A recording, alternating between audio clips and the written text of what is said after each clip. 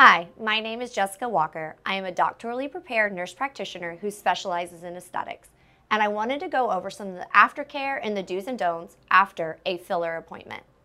No matter what appointment you come in for, whether it's your toxins, filler, Sculptra, or laser, we have wonderful laminated cards that we will give to you at checkout with all the do's and don'ts. But it's wonderful to be able to review them with you right now so you've got them fresh on the mind for whenever you come in for your appointment. The biggest thing is safety. We want you to have safe, beautiful results after your filler appointment. So these do's and don'ts are crucial to follow so you have beautiful, safe outcomes.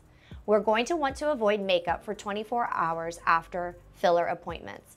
There's lots of needle pokes. We want to make sure the skin stays nice and clean and those holes are able to heal up before applying any makeup. Ice is also going to be your friends for the first few days as well, bringing down any inflammation. We will also give you a container of arnica, which is a natural anti-inflammatory, which will help mitigate some of that swelling and bruising. We go over in detail of how to apply it and where to apply it after your filler appointment. We also want you to avoid exercising for a few days for your body to be able to heal properly in that initial post-filler injection point. Another aspect to consider is expectations.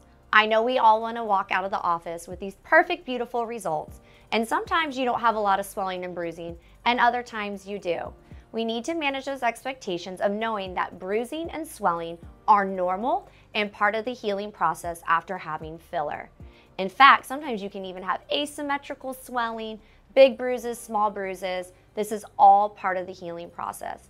It takes a good two weeks for tissue integration. After two weeks, the filler will be tissue integrated and you will have beautiful, balanced results at that time. At checkout, we will make sure you not only have the office number, but you will have the medical provider's cell number to get a hold of us if there were any concerning issues during the healing process.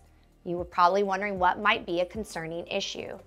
If any of the tissue were to look gray or white, like it's not perfusing, if you were to get a red lacy rash or any vesicles on your face or an extremely uncomfortable area, at that time, it would be very important to contact the office so we can bring you in for an evaluation if any further steps need to be taken during the healing process.